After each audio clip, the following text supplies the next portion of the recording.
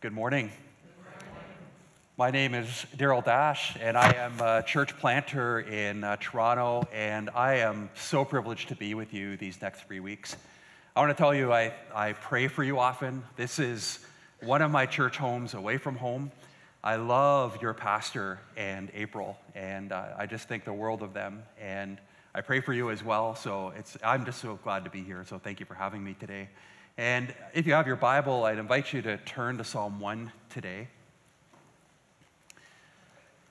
As we're turning to Psalm 1, I want to tell you something that you probably already know, but you may have forgotten, and it's this your brain is amazing. It really is. Your brain is amazing. I don't know how they figured this out. I kind of do, but I don't want to think about it too much. Your brain only weighs three pounds. And it is a spongy mixture of water and fat and protein. And it's amazing. It is the most complex known structure, bar none. They've never found anything more complex than the human brain. Your brain contains billions of cells, approximately 100 billion neurons. Think about that 100 billion neurons. Information passes through your brain at a rate of up to 250 miles per hour.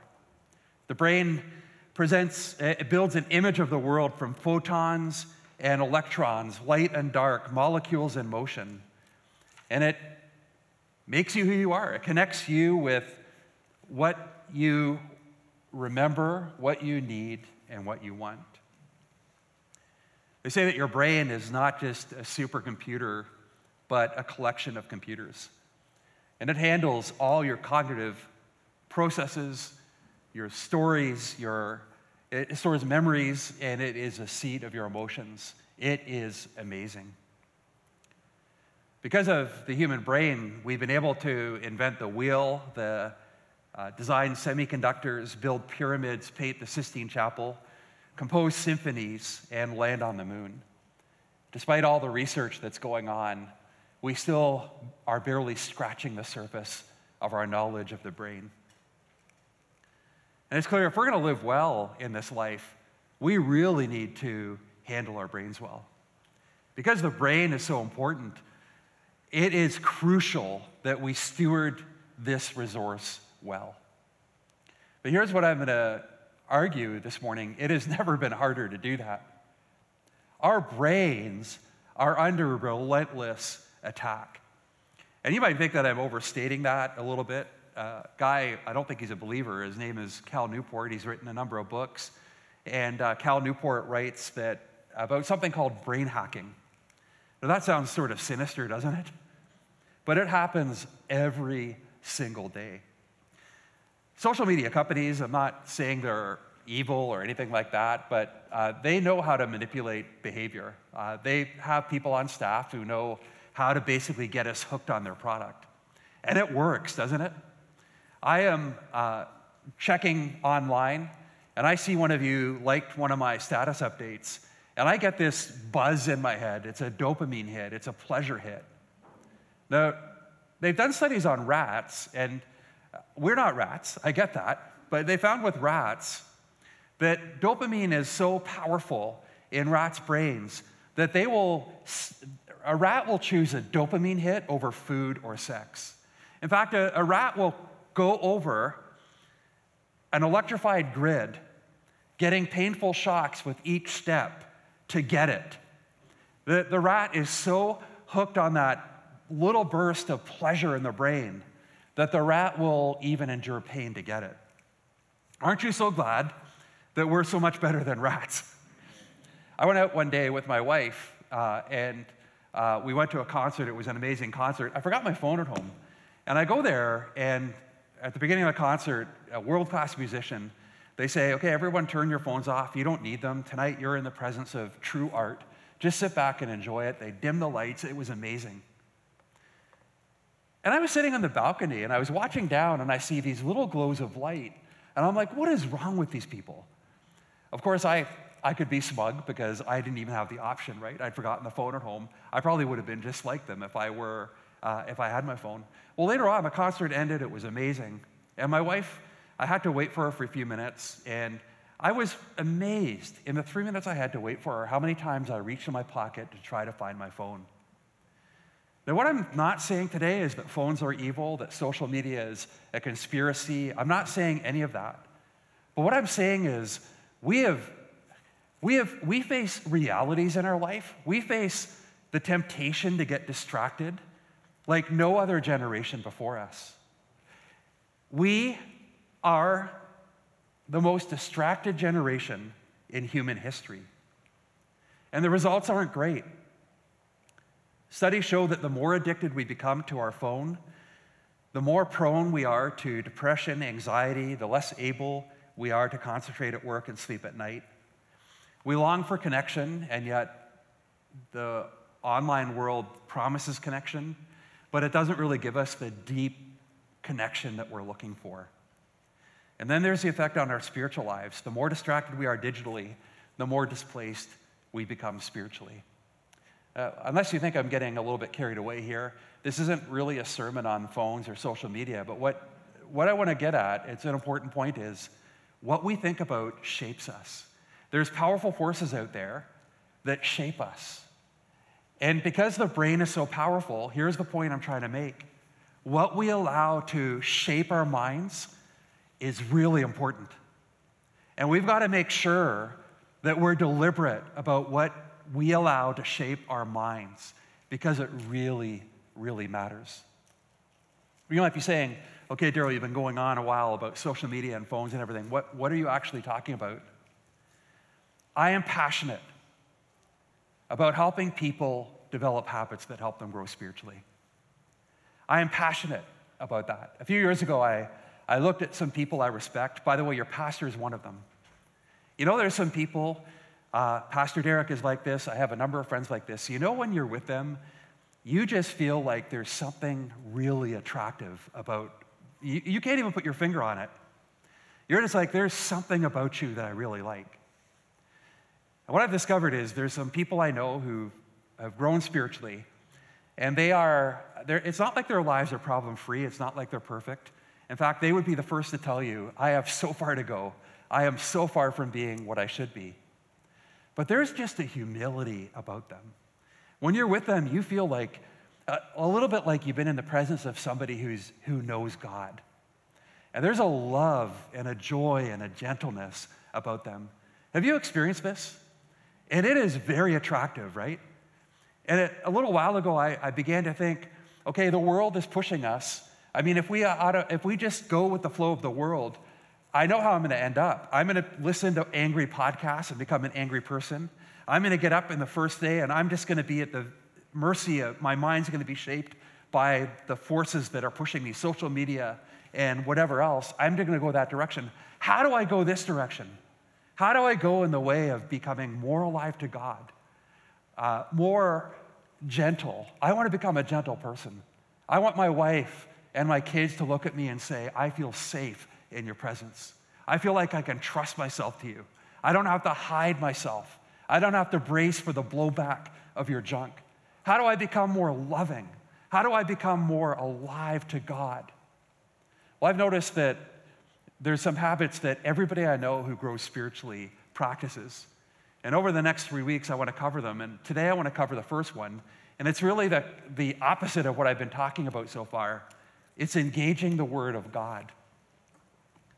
I really believe that the first, if we want to be on the pathway to becoming that kind of person, a holy person, the first thing that, that we've got to do is we've got to allow our minds to be shaped by the Word of God. Psalm 1 says this Blessed is the man. Yeah, by the way, woman, uh, it's, it's man or woman here. Blessed is the man. Blessed is the woman who walks not in the counsel of the wicked, nor stands in the way of sinners nor sits in the seat of scoffers. But his delight is in the law of the Lord, and on his law he meditates day and night.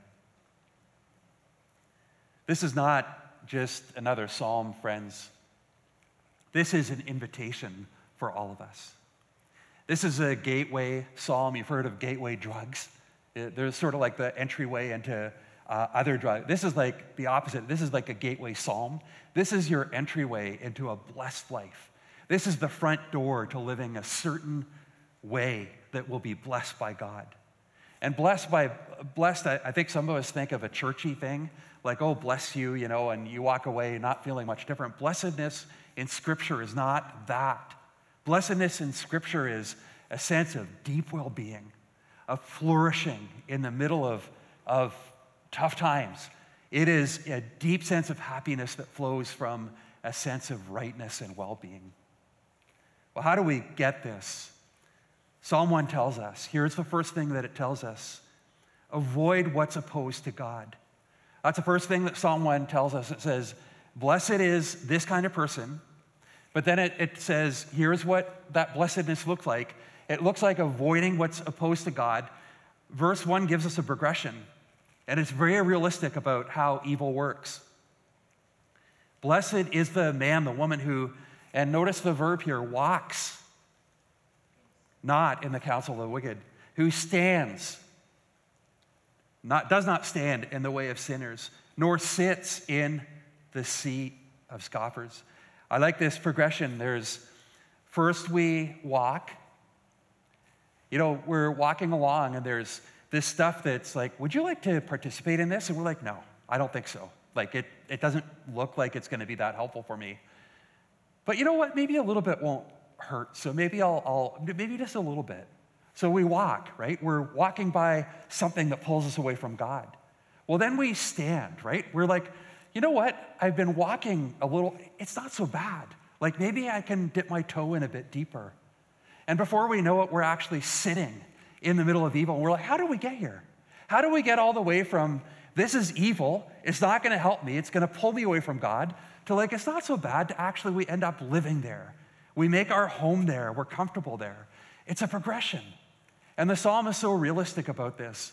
We need to be careful about what's influencing us, and we need to avoid what's pulling us away from God.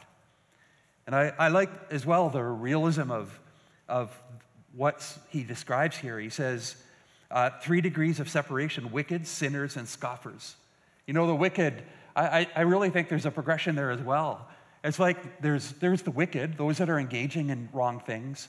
But then you go another level and your identity actually becomes sinner, but then you even go further and become a scoffer, mocking what's good. And the psalmist is realistic. He's what the psalmist is saying here, and this is so important for all of us, is avoid a gradual drift away from God because of influences that you let into your life. Avoid a gradual drift away from God based on influences you let in your life. You know, I read a quote last year that shocked me. It was from an old mother of two great saints, and she's famous for uh, raising these, the, her two sons. And she turned to her sons one day and said, Let me tell you what sin is for you. Anything that draws you away from God, that is sin for you. And so, what she was saying, uh, let, let me bring it to today, is is that Netflix show sinful for you? You might argue, ah, you know, it's not that bad. The question is, does it draw you away from God? Is it part of this progression of, you know, from standing to, to walking, uh, from walking to standing to sitting? Is, is it drawing you away from God? Does it make you a holier person? Whatever it is that draws you away from God is sin for you. Friends, we've seen this over the past year, haven't we? The media, that we let into our brains is going to shape how we see the world. And it's going to determine whether we become closer to God. The podcasts that you listen to are going to form your worldview, and they're going to make enemies of certain people. You're going to be taking in some podcasts, and it's going to make you hate people. The relationships that you let into your life, the influences, the social media accounts that you follow are go- all going to determine whether you become closer to God or whether you are undergoing this gradual drift away from God. You'll begin to adopt the way that they think, and you'll be, it will shape your life without you even realizing it. Question for you What influences are you allowing in your lives right now that are opposed to God? We tend to think that we can control the results, that we can let them in, but then control uh, our minds. But the psalmist here says, No, you can't. Be careful. Take this seriously. Your walk with God depends on it. Second thing that this psalm teaches us on how to become that kind of person that we want to be delight in and meditate on God's word. Avoid the negative influences, but here's the positive delight and meditate on God's word. Verse 2 says this But his delight. I love that. Not his drudgery, not his. This isn't eating spinach. This is his delight. He loves, by the way, I like spinach. But I'm talking about like, this isn't something that like, I have to do it. His delight. He loves this. Her delight is the law of the Lord. And on his law, he meditates day and night. What influence should we allow in our lives? Well, the psalmist tells us pay careful, diligent attention to God's word. God's word, here it's the law. I think it could refer, strictly speaking, to the Torah, to the, the first five books of the Bible. But generally speaking, I think what the psalmist is referring to is, but when he speaks of the law, he's referring to God's word in general, saying, there is a way to live that so delights in this that it is like, man, this is honey to me. This is like amazing. This is, this is what I want to think about. This is the main influence in my life. And what he's talking about isn't just reading it quickly, you know, doing the Bible reading for the day and then shutting it and then going on with your day. What he's talking about is a way of, of engaging with Scripture that it becomes the dominant influence of your life. Theologian Don Carson puts it this way You wake up in the middle of the night, and your mind is so full of Scripture that it revolves around what God has declared. You think in those terms, and when you see squabbles developing in the church, disputes about how things should be done, you naturally ask yourself, what does Scripture say? I wonder what God says on this. Is there some part of the Bible that I need to read again here? He meditates on it day or night. Is that hyperbole? I mean, some of you might be thinking, I've got work to do, right? I'm paid to be an accountant or a teacher or a lawyer or whatever it is. Like, there's no way I can meditate on God's word day and night. It's actually a literary term. It's called a merism. And, and we know this, right? If you're in love with somebody, you might tell them, like, man, I think about you day and night. And what you mean by that isn't that that's the only thing you think about. What you're saying by that is, like, my, you are never far from my thoughts. Like, my whole life, I'm never more than just like a short distance away from thinking about you. I'm, I'm, every time my mind drifts, I come back to you. That's what David's talking about. That's what the psalmist is talking about. He's talking about a way of life where we're never far from thinking about Scripture, that our whole lives are full of thinking about it. I love what Charles Spurgeon said Oh, that you and I might get into the very heart of the Word of God and get that Word into ourselves.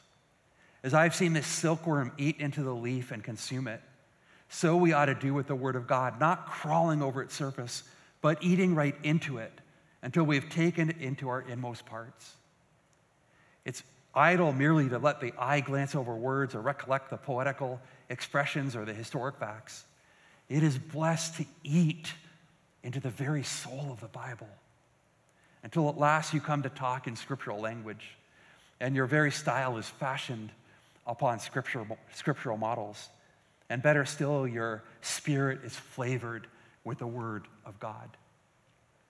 Friends, I've met people like that. He uses the illustration of a, a preacher in his day, uh, Spurgeon's day. And Spurgeon says, uh, Why, this man is a living Bible.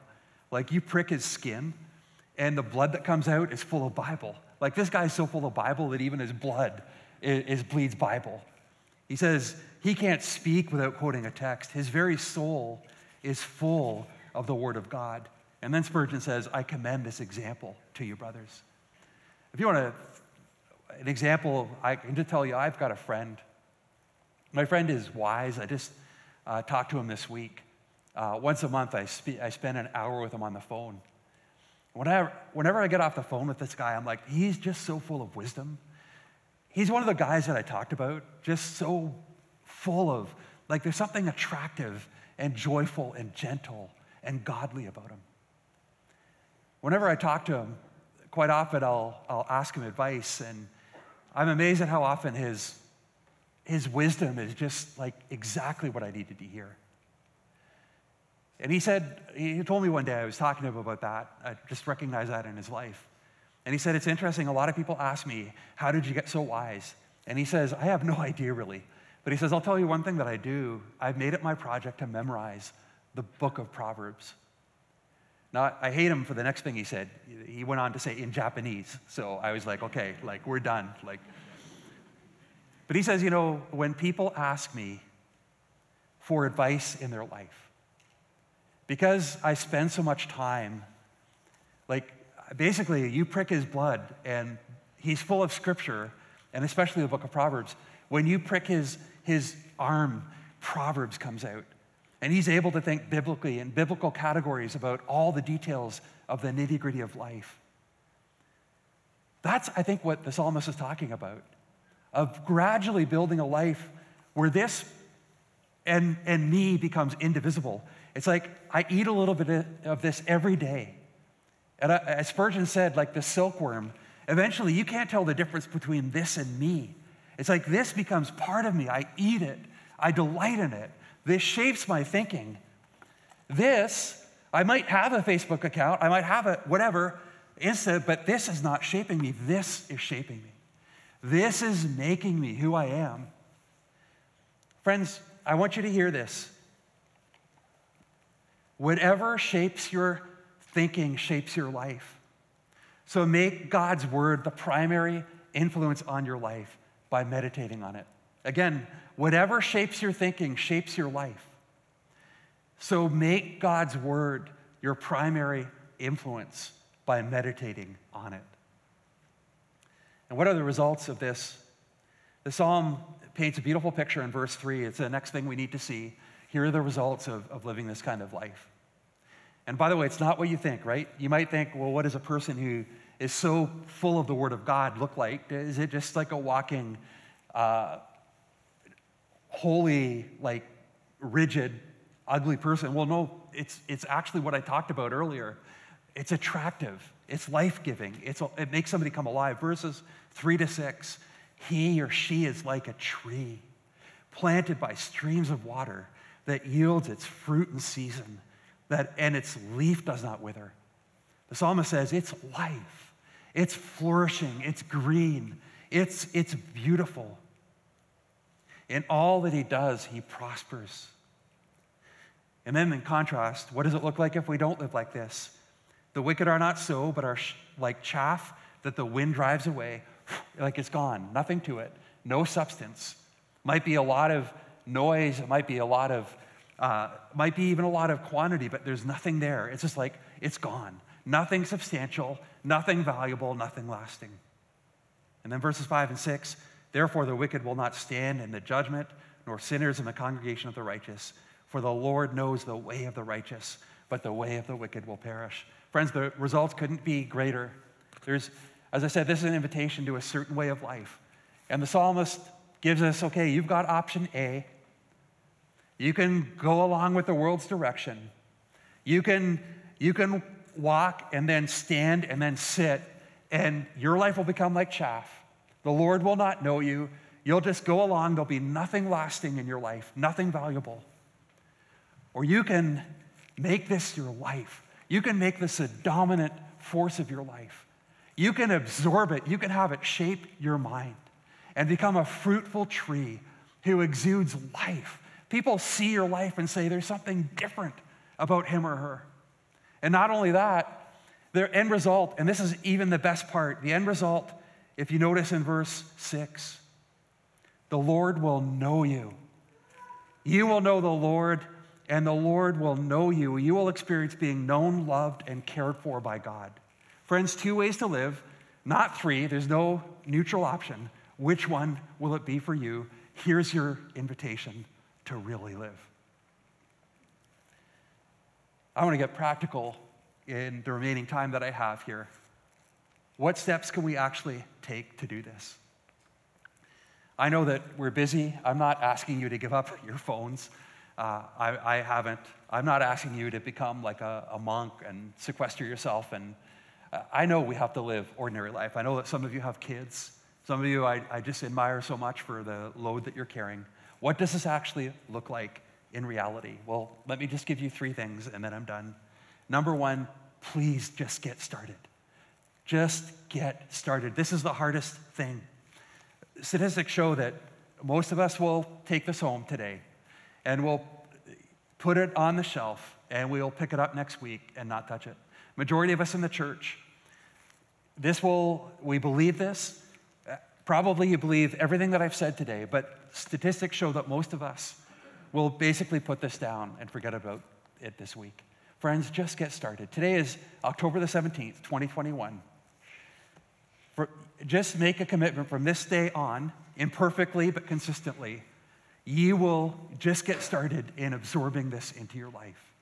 And it's simpler than we think, by the way. I mean, just get a good Bible. Your pastors here can help you splurge. Like, this is going to be the rest of your life. It might, however long that's going to be, because the Word of God is so valuable, just say, I'm going to blow the bundle uh, like for Christmas, I want a really good study Bible that's going to help me understand the Word of God. If you're an auditory listener, if you're a commuter, get a good audio Bible. The radio is fine, podcasts are fine. I love podcasts. But man, a lot of us, our commutes would be way better if we found a really good audio Bible. And on the way to work, we just took in God's Word and delighted in God's word. Just get started. Did you know that it only takes 15 minutes a day to read through Scripture over an entire year? 15 minutes a day. If you want to read the Bible over two years, seven to eight minutes a day is all that it takes. And by the way, it will be hard. Uh, re- scripture isn't always easy. We've all done this, right? A lot of us have done this. We've started in Genesis and gotten to Leviticus and Numbers and we've given up, it's going to be hard. Just get started. And when you fail, keep going. David Mathis said this At the end of the day, there's no replacement for finding a time and place, blocking out distractions, putting your nose in the text, and letting your mind and heart be led and captured and thrilled by God Himself communicating in His objective written words. By the way, don't give up. You're going to not do this perfectly, you're going to miss a day. I find a lot of people say, well, man, I missed a day. I had a Bible reading program like I, I might have gone it for eight days and I missed day nine. I may as well quit. No, just keep going. Just commit for the rest of your life that you will. I love Spurgeon's uh, idea here that you will be like that silkworm eating and absorbing and delighting in this book. Just get started today. Another action step I want to recommend to you and by the way, as you hear this, this isn't the 11th commandment. If you don't like this, don't do it. I've just found it really helpful. Don't make this legalistic. Scripture before phone. What's the first thing that you did today? Most of us, first thing we did is, is we went on this. And there's nothing, as I say, there's nothing, you weren't sinning when you did that. It wasn't. But James Earl Whitney, in his book, The Common Rule, says this what is it if, as a declaration of priority, we put this first in our day? He writes, refusing to check the phone until after reading a passage of Scripture is a way of replacing the question, What do I need to do today? Or what did somebody tweet about today? With a better one Who am I and who am I becoming today? We have no stable identity outside of Jesus. Daily immersion in the Scriptures, resists the anxiety of emails, the anger of news, and the envy of social media. Instead, it forms us daily in our true identity as children of the King, dearly loved. Friends, when we open the Word of God, a couple things happen. First, we meet Jesus. Do you realize all of Scripture is about Jesus? Jesus said that about himself. When we open the Word of God, I mean, how, what could we do that's better at the beginning of the day than to say, I would love to meet Jesus? I want to begin the day with seeing Jesus in all his beauty and glory. I want to see that uh, his love that caused him to die for me. I want to see his relentless pursuit of unholy people. Because, like, man, I'm going to mess up today. I need to be in the Word of God to realize that Jesus is committed to me, that he went chasing after. Uh, I mean, God just was relentless in his love for an imperfect people. The other thing that happens, friends, is you know what happens when we open the Word of God? And we, we might have a hard time. The Holy Spirit promises to help us. What better thing in the morning than to say, like, man, I want to open God's very Word and see Jesus. I want to meet Jesus. And I want the Holy Spirit to come alongside and guide me in pursuing Him. God is more ready to meet us than we are to meet Him.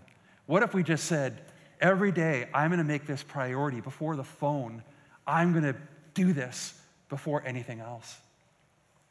Final, and there's lots more I could say, but final, just practical tip is this don't just read, but process what you read.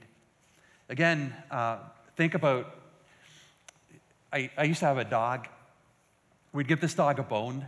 You know, we would eat all the meat on the bone, and then we would give the, the bone to the dog. Now, I, we, were, we didn't know you weren't supposed to do that. Bone splinter. Now they say don't do that. But, you know, I, remember that bone, that dog would take that bone and it would spend hours just like every bit of nutrient from that bone, every little last bit of meat or fat or marrow would be gone. And then when it was gone, the dog would give it another going over just in case.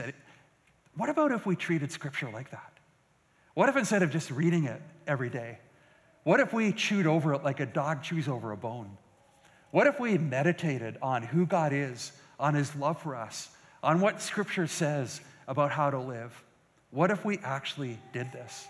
What if we carried it with us, memorizing it and chewed on it for an extended period of time? What if we put it on the back burner so that it's like my wife last night put bones on the back burner? Uh, and, you know, it's just there simmering. What if we did that? It's always simmering in our lives. What if we develop the skill of memorizing Scripture, of, of, becoming so full of Scripture that it actually shaped how we think? Friends, this is the pathway to life.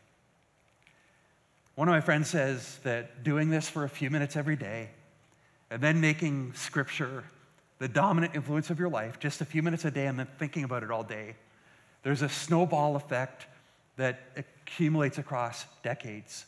It's a small action that will produce massive results in our lives.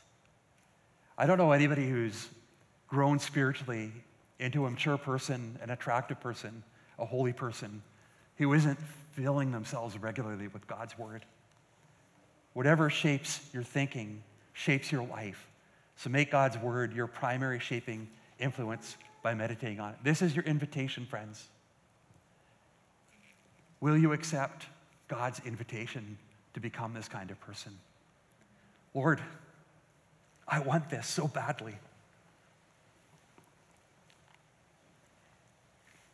It has never been easier to live a shallow life. We can just live life on the surface, bombarded by ads, bombarded by really good shows. But Lord shows we don't even have to say we want to watch the next one. It just starts the next one for us. Lord, we've never been more bombarded with great stuff. But a lot of it is, is stuff that really doesn't help us know you better and love you more. We want to be shaped by you. We want to get our identity from you. We want to be like trees planted by streams of water, flourishing. Even in the middle of difficulty, we want to know what it's like to prosper because we are dug down deep into you. And so, Lord, please help us to engage your word. Help us to eat your word, to delight in it. Lord, help us to absorb it, to think about it, so that we become like trees planted by streams of water producing fruit in season, prospering in all we do. And Lord, in all of this, I pray that we would see Jesus. Pray that all of this would not be for the sake of checking off a box in our lives, I pray that all of us would be out of a delight in who you are and what Jesus has done for us. Would you make us this kind of person, these kind of people, we pray. In Jesus' name, amen.